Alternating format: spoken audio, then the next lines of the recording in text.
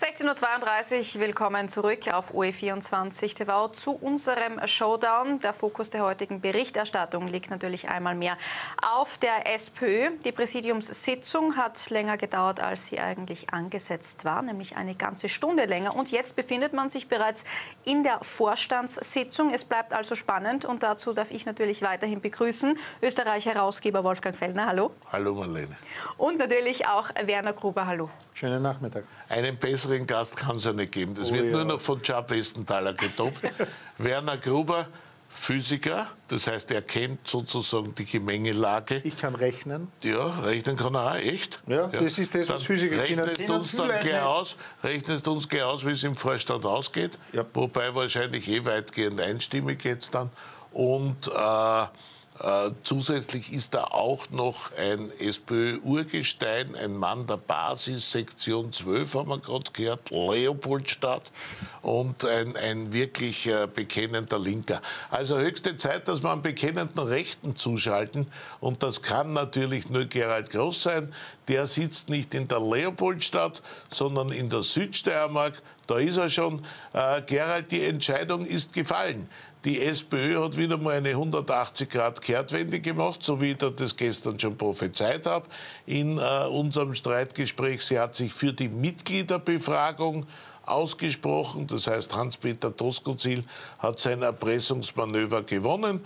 Danach wird es äh, der, der äh, Ausgewogenheit halber auch einen Parteitag geben, damit bei Melarendi Wagner nicht ganz ihr Gesicht verliert und alle sind eitel Freunde. Wir kommen auf einen dreimonatigen Wahlkampf Doskozil gegen Randy Wagner zu. Was sagst du dazu? Naja, drei Monate lang dauert jetzt das Konklave der sozialdemokratischen Kirche, der übrig gebliebenen Sekte, um dann in drei Monaten Abemus Vorsitzenden zu präsentieren. Was die Genossinnen und Genossen im Parteivorstand und im Präsidium vergessen, ist, dass in wenigen Wochen in Salzburg eine Landtagswahl ansteht. Und in dieser Salzburger Landtagswahl wir eine amtierende Parteivorsitzende noch immer haben, Pamela Joy-Rendi Wagner, die nach dem heutigen Ergebnis, und man kann durchaus von Sieg sprechen für Hans-Peter Doskozil, als lame duck die nächsten drei Monate durch das Land watscheln wird. Denn nichts anderes ist passiert. Hans-Peter Doskozil hat sich mit seinem machiavellistischen Trick, mit dem Brief, ich stelle mich der Auseinandersetzung, aber nur, wenn es nach meinen Vorgaben passiert, hat sich heute durchgesetzt und hat Christian Deutsch und Pamela Joy-Rendi Wagner äh, quasi auf die Bank der Zuseher verwiesen. Hans-Peter Doskozil ist der starke Mann der Basis, er ist der starke Mann auch der SPÖ-Mitglieder. Und es wird jetzt lustig zu sehen sein, wie sich die Parteielite, der Partei Adel, Ludwig, Kaiser etc., ihre Landesgruppen gegenüber den einfachen sozialdemokratischen Mitgliedern verhalten. Werner Gruber, wie konterst du diesen vorlauten Rechten? Naja, also Lame Duck stimmt sicher, wobei ich glaube, Pamela Rende-Wagner hat schon in den letzten Wochen oder Monaten war sie ja nicht immer und überall so extrem beliebt. Äh, ich sehe das jetzt, dass die SPÖ eine schöne inhaltliche Auseinandersetzung mit ihren Werten hat. Wo soll das Bildungssystem in fünf Jahren sein? Wo wollen wir in zehn Jahren sein? Und das, glaube ich, ist durchaus äh, toll, nämlich auch, dass sich wieder manche Mitglieder äh, dem besinnen, wofür die SPÖ tatsächlich steht. Ich glaube auch, dass es eine Klärung von manchen Fronten ist. Diskussionen, die in der SPÖ sowieso schon länger geführt werden hätten müssen. Es ist schön, wenn man sagt, ja, wir haben ein Papier, wo drinnen steht, wie wir mit dem Thema Migration und Asyl umgehen. Das Papier ist noch nie in der Bevölkerung angekommen oder ich sage einmal bei den Mitgliedern angekommen. Und deswegen halte ich eine solche Diskussion für sehr schön und ich kann mich nicht oft genug wiederholen. Ja, das bedeutet, äh, dass wir den Wahlkampf inhaltlich kostengünstigst machen können, weil wir werden dieselben Probleme in einem Jahr genauso haben und dann können wir es geeinte SPÖ sagen, mit jemand, wo wir auch wirklich sagen müssen, da stehen alle dahinter, dann ist er Ruhe und dann haben wir sowohl inhaltlich als auch äh, strukturell sind wir gut aufgestellt. Also der Werner Gruber meint, das ist eine optimale Entscheidung für die SPÖ, die da heute gefallen ist. Besser hätte sie nicht fallen können. Drei Monate lang kann sich die SPÖ jetzt inhaltlich gut positionieren und danach wird sie geeint in den Wahlkampf ziehen. Gerald Groß, gibt es da einen Widerspruch oder bist du ähnlich optimistisch? naja, Gruber, Professor Gruber hat selbstverständlich recht. Und zwar aus einem schlichtweg einfachen Grund, weil eine, ein Wettbewerb von zwei Personen einmal grundsätzlich in einer Demokratie nichts Schlechtes ist. Es ist in Wahrheit das Wesen der Demokratie und es ist das Wesen der direkten Demokratie und der Basisdemokratie, das nun in der Sozialdemokratie erstmalig in der Geschichte der Zweiten Republik zur Geltung kommt. Nämlich eine Basisabstimmung, eine Urabstimmung der Mitglieder, der einfachen Mitglieder. Nicht der Parteiadel stimmt ab, sondern es stimmt am Ende die Basis, die Mitglieder der Sozialdemokratie ab. Das ist einmal der erste wesentliche Schritt.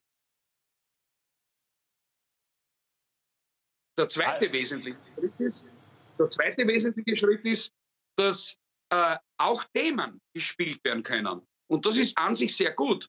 Nur, es werden nicht die Themen sein, die sich Gruber vorstellt. Es wird nicht das Klimawandel sein, es wird nicht das Pflegethema sein, sondern es wird die entscheidende Frage sein, lieber Hans-Peter Doskozil, wie hältst du es mit der Franitzky-Doktrin?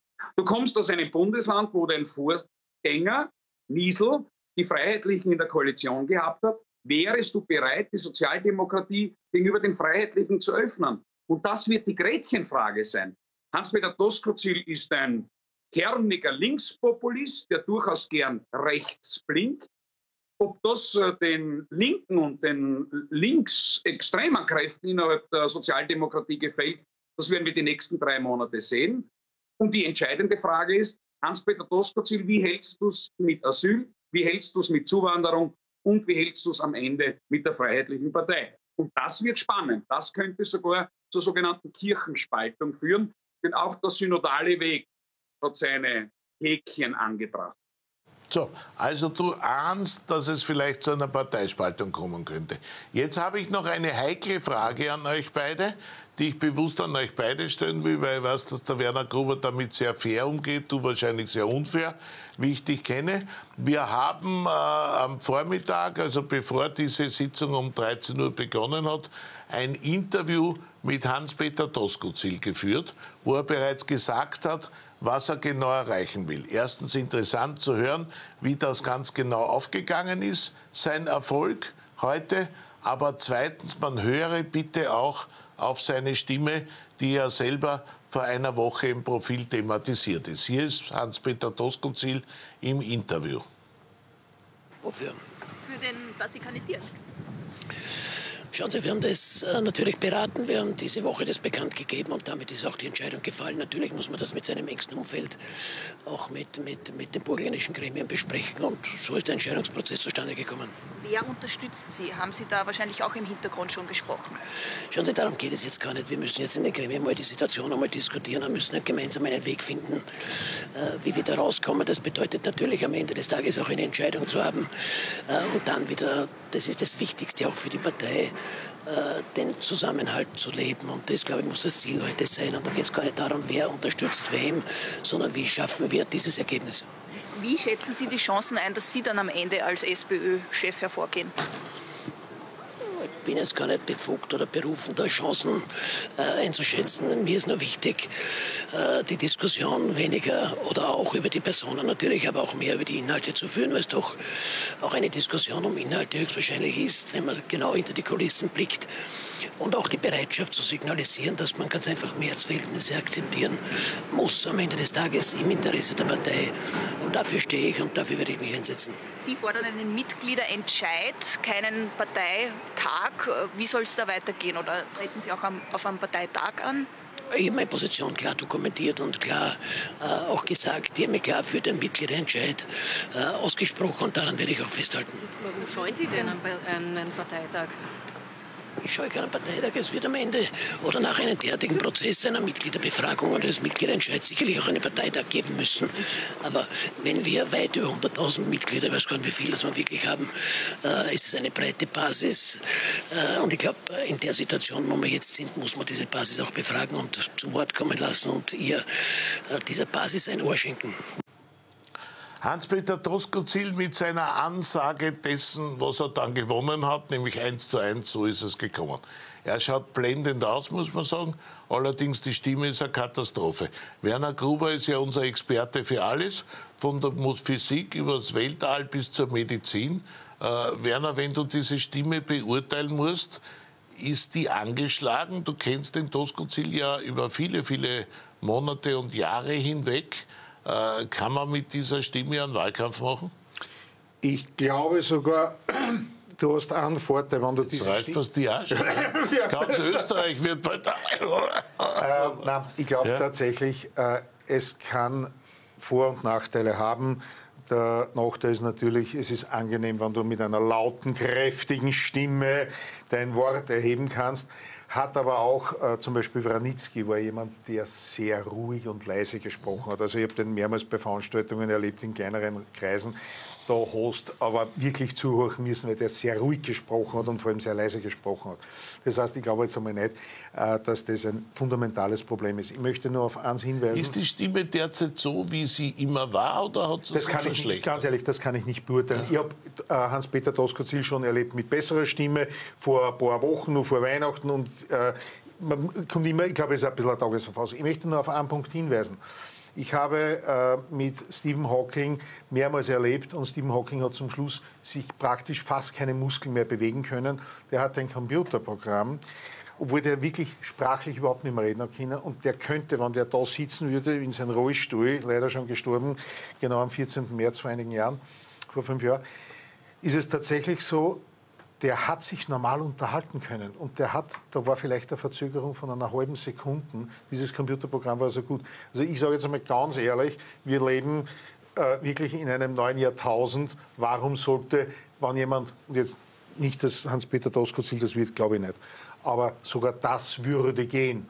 Und bitte, wir sind in einer Demokratie und wenn jemand nicht reden kann oder wenn jemand blind ist, man wird sagen, ja, es ist natürlich ein Nachteil. Umgekehrt kann es aber auch der Vorteil sein, der politische Gegner kann nicht sagen, Sie können ja nicht mal sprechen. Das kannst du auch nicht machen. Da hast du natürlich eine gewisse Beißhemmung. Das heißt, ich würde das Thema mit der Stimme, muss ich ganz ehrlich sagen, ausklammern. Das spielt keine Rolle. Das ist genauso, wie ich ausklammern würde. Ich höre in jedem zweiten Gespräch, ja, die Pamela Rendi-Wagner, die ist nicht nur gescheit, die schaut auch gut aus. Bitte, wer redet wie der Hans-Peter Doskozil ausschaut. Gutheit, gut. Ja. Nein, aber so. ich, äh, das sind immer so genau die Punkte, auf die jeder eingeht. Gerald, das sind ganz, kurz, ganz kurz deine Meinung.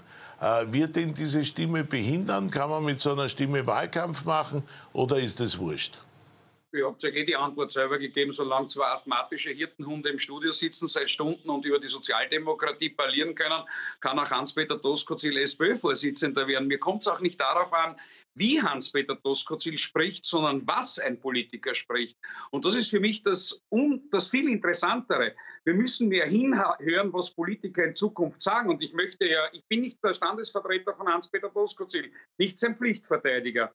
Aber mir wäre es schon recht, wenn wir endlich einen SPÖ-Parteivorsitzenden hätten in dem Land, der wieder die Sprache des Volkes spricht und nicht wie Pamela Joy in die Wagner am Volk vorbeispricht. Und Hans-Peter Doskozil hat durchaus als Landeshauptmann bewiesen, dass er die Sprache des Volkes sprechen kann. Ich habe es gestern in der Sendung gesagt. Der Hirte muss riechen wie die Herde.